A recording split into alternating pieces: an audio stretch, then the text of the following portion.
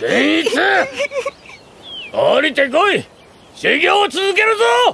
いやもう死ぬと思うので！これ以上修行したら死ぬと思うので！惚れた女に別の男と駆け落ちするための金を貢がされて借金まみれになった俺を助けてくれたしね！まあ剣士育てたかっただけかもしんないけど！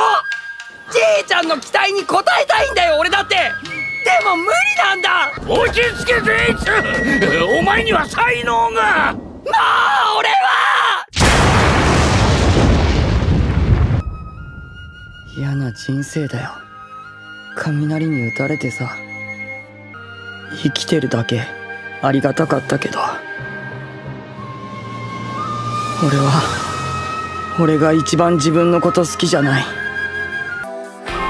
親のいない俺は誰からも期待されない。誰も俺が何かを掴んだり何かを成し遂げる未来を夢見てはくれない。一度失敗して泣いたり逃げたりするとああもうこいつはダメだって離れてく。でもちいちゃんは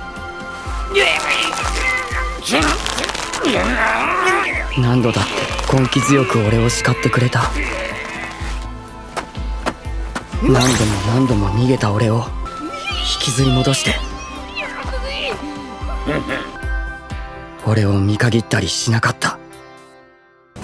善逸極めろ。泣いていい。逃げてもいい。ただ諦めるな。信じるんだ。誰よりも強靭な刃になれ。